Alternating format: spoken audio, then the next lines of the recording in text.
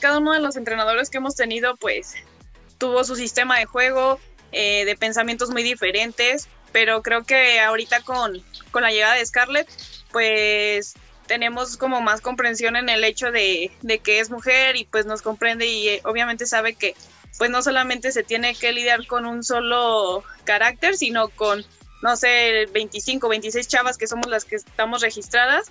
Y pues creo que en este torneo, tanto con el cuerpo técnico como jugadoras, se siente un ambiente muy unido.